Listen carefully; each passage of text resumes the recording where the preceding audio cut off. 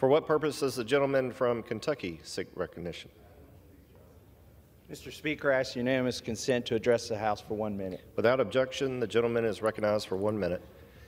Last month, we ended the vaccine mandate for the military, but there's still many unscientific, illogical, unconstitutional mandates for vaccines in this country.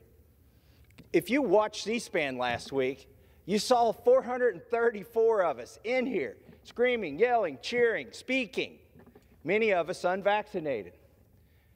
Most of us probably not boosted. So, why do we have a double standard?